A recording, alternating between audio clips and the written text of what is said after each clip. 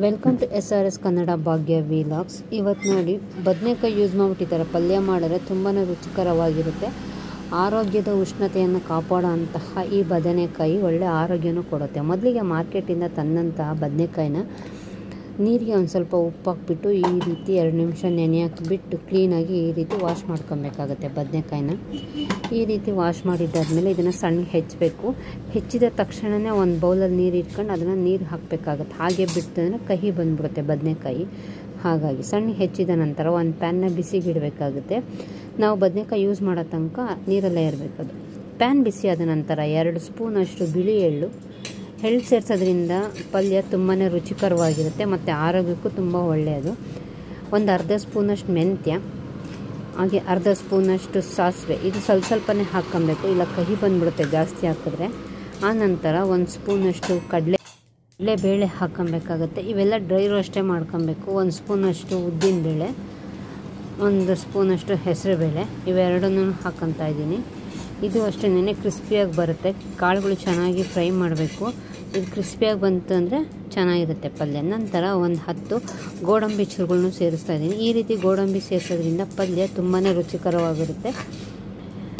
ತುಂಬ ಟೇಸ್ಟೂ ಇರುತ್ತದು ಚೆನ್ನಾಗಿ ಹುರಿದಿದ ನಂತರ ಒಂದು ಹತ್ತರಿಂದ ಹನ್ನೆರಡು, ನಿಮಗೆ ಬೇಕಾದಷ್ಟು ಖಾರಕ್ಕೆ ತಕ್ಕ ಮಟ್ಟಿಗೆ ಒಂದು ಒಂದು ಸ್ವಲ್ಪ ಕೆಂಪು ಮೆಣಸಿನ್ಕಾಯಿಗಳನ್ನ ಸೇರಿಸ್ತಾ ಇದ್ದೀನಿ. ಒಣಮೆಣ್ಸಿನ್ಕಾಯಿಗಳನ್ನ ನೋಡಿ ಈ ರೀತಿ ಕೆಂಪು ಬಣ್ಣ ಬರಬೇಕು. ಅದು ಸ್ಮೆಲ್ ಚೇಂಜ್ ಆಗುತ್ತೆ.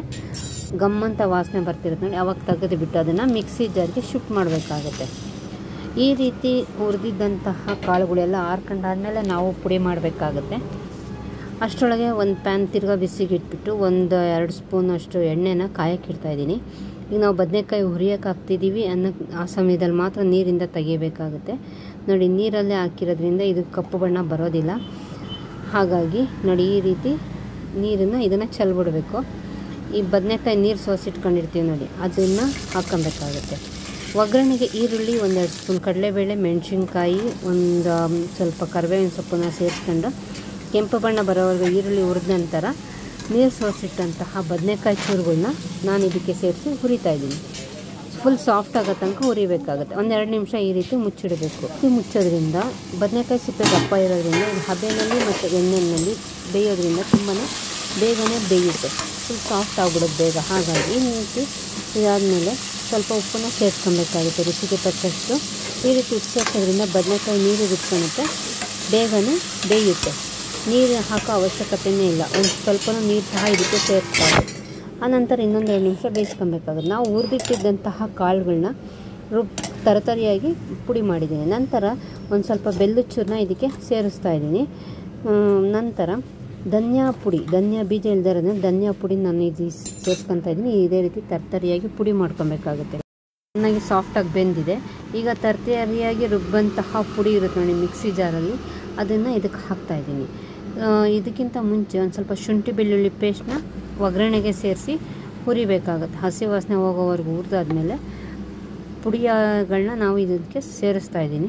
ಯಾವುದೇ ಕಾರಣಕ್ಕೂ ನೀರನ್ನ ಯೂಸ್ ಮಾಡಬಾರ್ದು. ನಿಮಗೆ ಎಷ್ಟು ಬದನೆಕಾಯಿ ಪಲ್ಯಕ್ಕೆ ಎಷ್ಟು ಅವಶ್ಯಕತೆ ಇದೆ ಅಷ್ಟು ಪುಡಿ ಮಾಡ್ಕೊಬೇಕಾಗುತ್ತೆ.